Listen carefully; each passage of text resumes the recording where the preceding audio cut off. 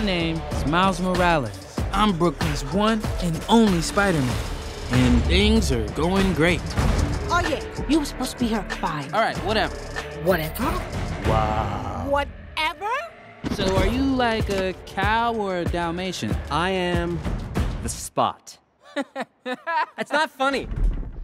Don't don't do that.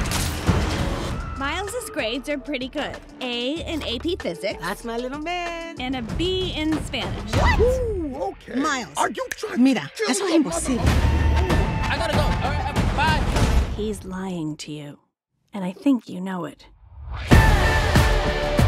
What's up, danger? Miles! Want to get out of here? Oh, when? So wait a minute. There's an elite crew with all the best spider people in it? Who's the new guy? Danger. This is unbelievable. This is the lobby.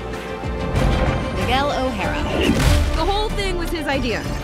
What's a guy gotta do to join this spider team? You can never be part of this. Don't even get me started on Doctor Strange and the little nerd back on Earth 1999-99. Come on, go easy on the kid. He had a terrible teacher. Peter, Miles! you have a baby? I have a baby. I'll take it from here. Miles, being Spider-Man is a sacrifice. What's up, danger? You have a choice between saving one person and saving every world. Send me home.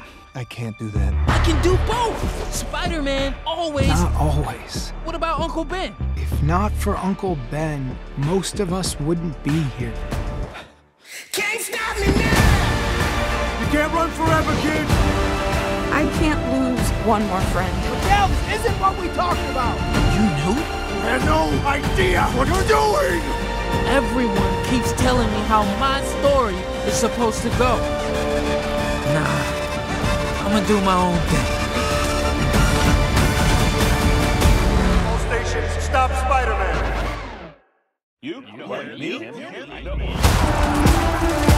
And